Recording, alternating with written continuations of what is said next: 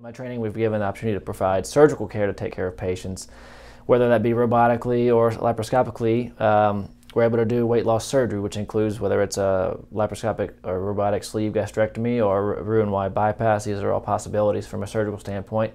But I'm also interested in doing more um, endoscopic and minimally invasive uh, incisionless procedures, which include balloons and possibly in the future uh, endoscopic procedures, um, endoscopic suturing. Uh, we also provide a lot of uh, bariatric um, medical weight loss opportunities here at our uh, WhyWeight facility, which I'm ex excited about being involved with.